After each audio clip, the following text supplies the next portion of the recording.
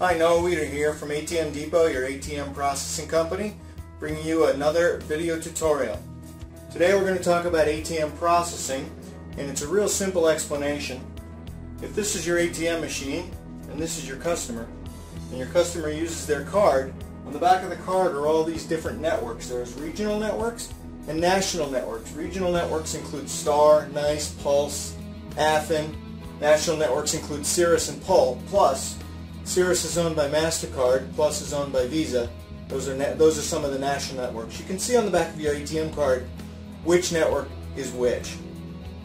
Our switch, our processing center, our ATM processing center, tells your ATM which network it is and then contacts the customer's bank to get approval to make sure their bank has the funds that are going to be withdrawn from your ATM machine. So when your customer sticks their ATM card in the machine, it sends a signal to the processing center.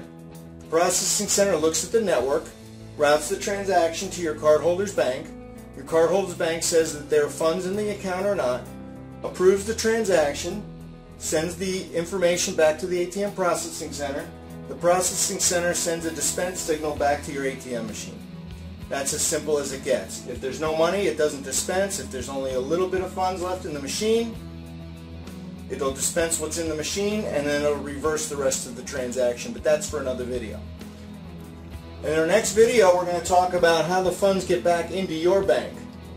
So watch the next video. Thanks.